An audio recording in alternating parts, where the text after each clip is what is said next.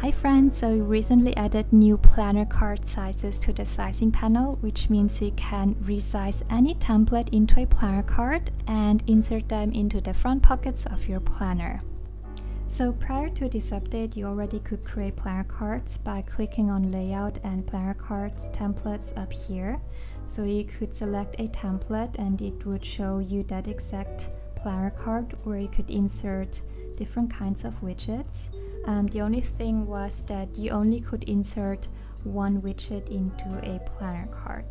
But with this update now, you can actually go to the sizing panel and you can type in planner card and then you can click on the sizing and it will actually resize you the template into the planner card size.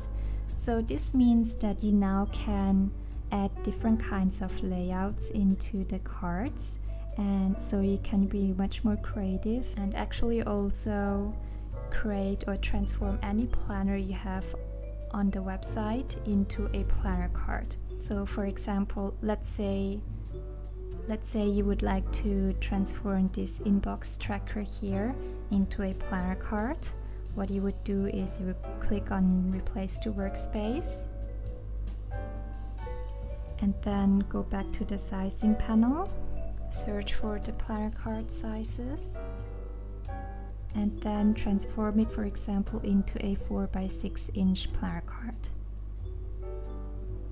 Now for those who are new, the difference between planner cards and normal planners are normal planners usually have a gap here in the middle where the rings are. Um, let me show you for example the personal size. You see the personal size has a gap here, so you have space for the hole punches. But the planner card sizes, um, let me bring back the planner cards. The planner card sizes don't have a gap here. They are equally wide left and right.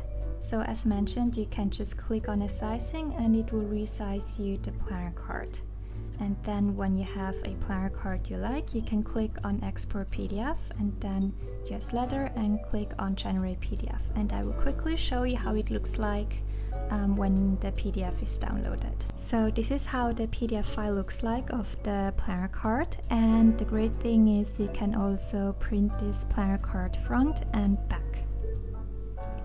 Now if you have a smaller planner card, um, a 4 by 3 inch card size, um, it will export you the planner into a quadruple. So you would select US letter and then you will click on quadruple.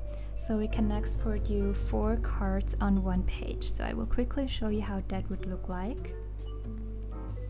So this is how the PDF looks like. Export the quadruple, um, four planner cards on one page and this is how it looks like. The great thing is you can save paper if you export it this way with the quadruple option. So I quickly also wanted to show you that you can also open your collection by clicking on my collection on the left side and access all your saved planners from here. Then if here is a planner you would like to transform into a planner card, you can do that like before by clicking on uh, replace to workspace and then going back to the sizing panel, searching for the planner card and then clicking on the planner card size. And that is all you have to do. And then again, click on export and then download the PDF file. So this is how you can easily transform any planner on Planify Pro into a planner card and have them in the front pockets of your planner for fast access. If you have any questions, feel free to message us on Instagram or Facebook anytime and we will try to respond to your questions as quickly as we can. Bye!